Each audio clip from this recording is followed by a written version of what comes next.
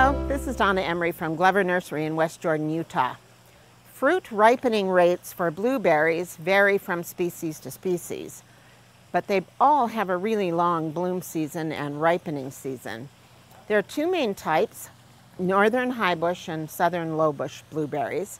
This one happens to be a cross between the two and is called a southern highbush. Most blueberries do best with another variety of blueberry nearby as a pollinizer. It doesn't have to be immediately adjacent to it, but just somewhere else in your yard is fine. And we do recommend that you plant at least two different blueberries.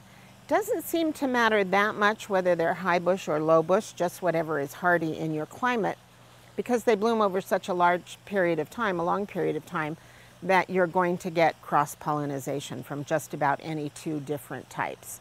So choose the one you like, the ones you like, and you should have good fruiting. This is Donna Emery for Glover Nursery.